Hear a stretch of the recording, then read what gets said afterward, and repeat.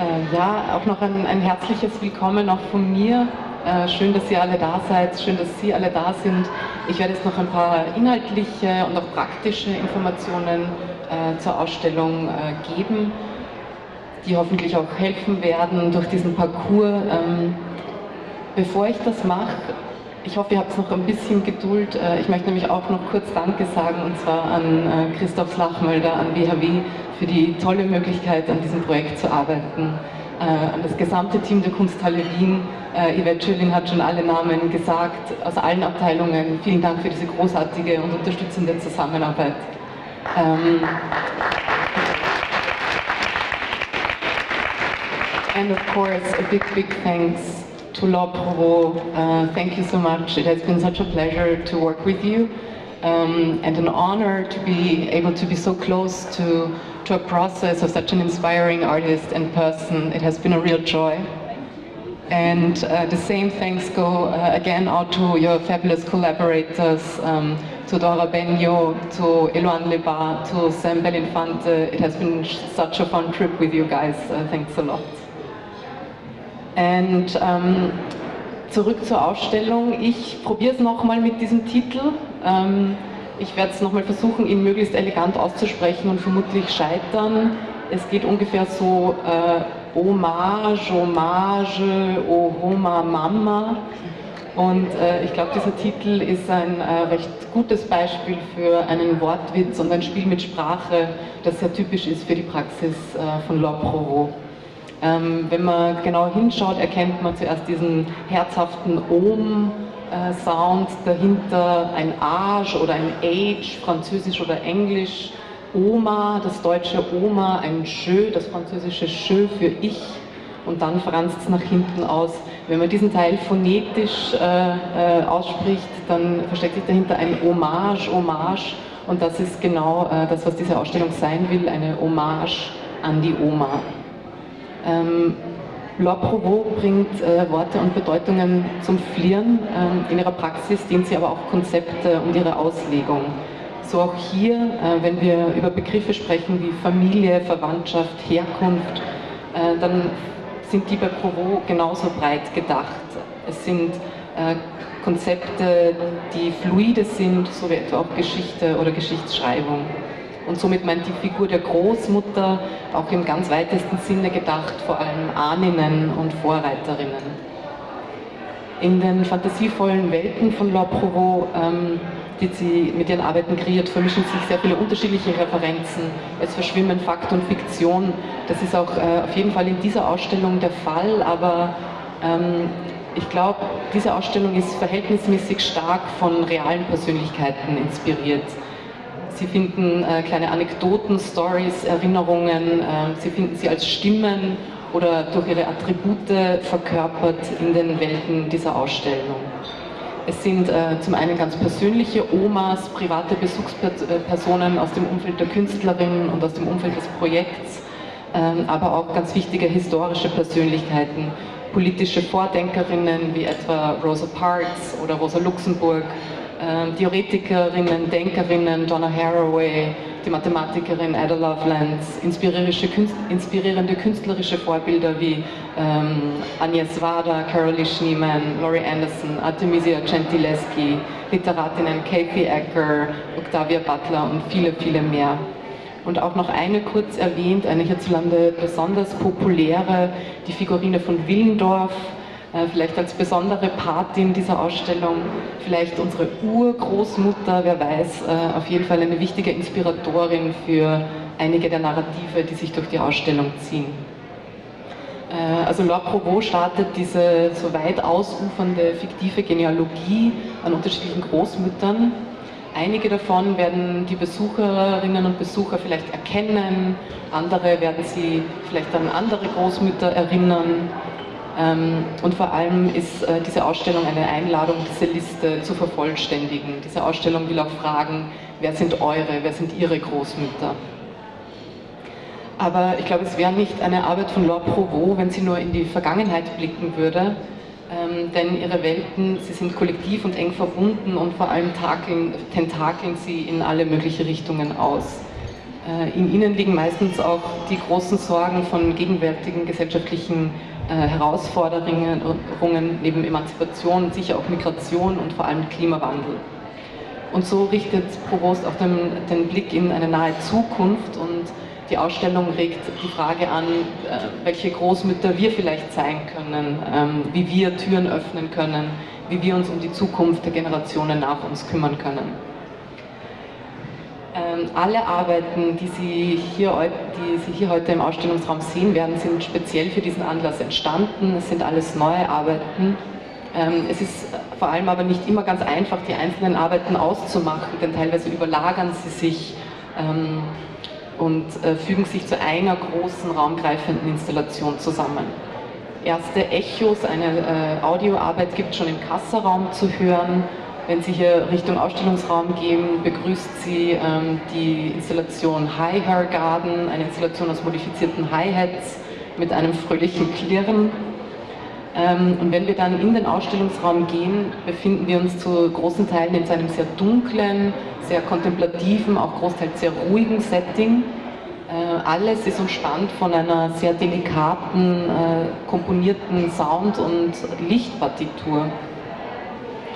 Im Zentrum von dem allen steht äh, Laura Provosts neuer Film. Er trägt den Titel Here Her Heart Hovers. Er besteht aus drei sehr äh, ästhetisch sehr unterschiedlichen Kapiteln, die nacheinander alterierend und auch mit kurzen Pausen dazwischen ähm, zu sehen sein werden. Dazwischen schwebt Moving Her, ein System aus filigranen, von der Decke hängenden Mobiles. Es sind hybride Objekte aus gefundenen Materialien und dazwischen einzelne Glasobjekte bzw. Glas und äh, in Kombination mit anderen Materialien mit jeweils korrespondierenden Audiospuren. Die größte und prominenteste davon ist eine Installation im, im hinteren Teil des Raumes, ein bisschen versteckt, mit dem Titel Gathering Oma de Glaneuse.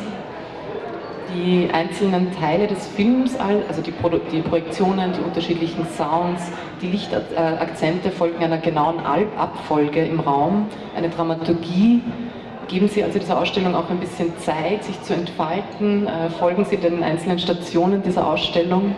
Ähm, es ist ein, also wenn Sie einmal den kompletten Zyklus sehen wollen, sind in etwa 45 Minuten, würde ich sagen.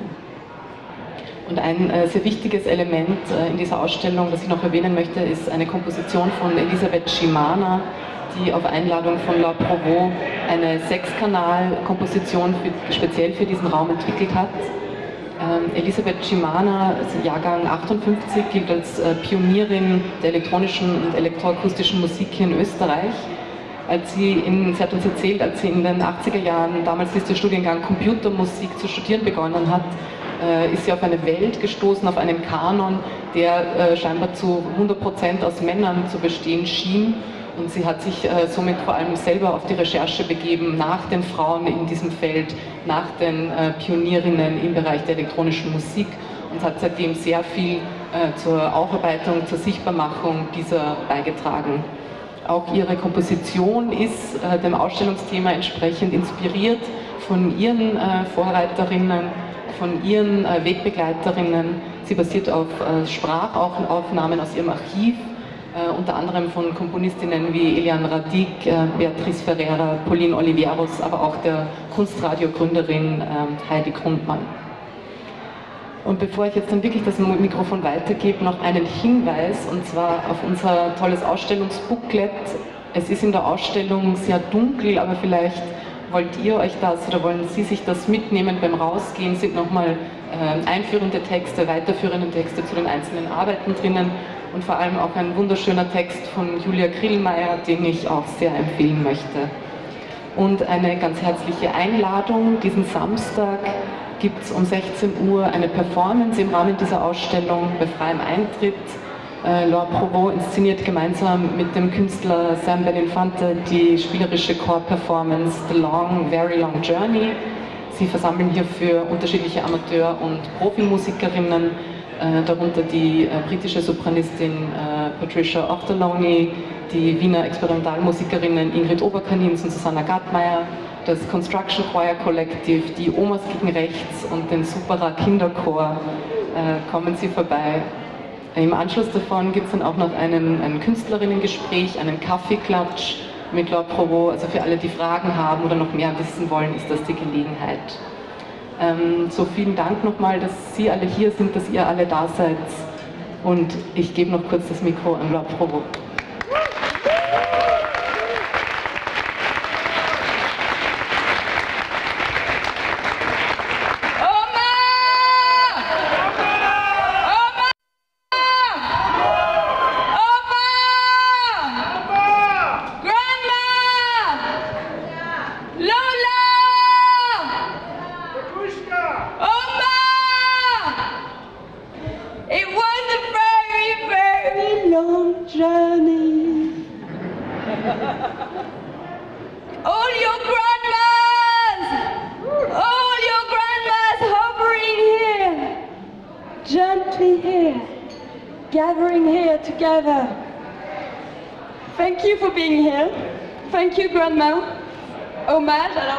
Practice the title together? okay. Hommage. Hommage, hommage. Hommage. Je suis Oma. I am grandma. I am Oma. Oh, Oma, mama, mama, mama, mama, mama. So tonight you can Oma, mama, mama, and talk about your grandmothers, hang around, um, take your time. It's actually, it's very gentle gathering in there. You'll see it's, it's subtle as well. It's kind of a piece which takes time, which um, you'll have to discover. Gather berries if you can, you'll see. You might find a couple. Um, yeah, just a huge thank you for this uh, amazing opportunity. Thank you so much, Yvette. Thank you, Christophe. Thank you, Caro, for this incredible project we could do. I mean, it's uh, for me it was um, a moment I really wanted to um, to to make a piece in homage to the possibility, to the fact that I, my generation, of course, in this part of the world, is able to to um, experiment and try and uh, and be invited and and perform and invent and create and and share and gather. Um, a big, uh, big, big, big, big, big thank you to Elizabeth!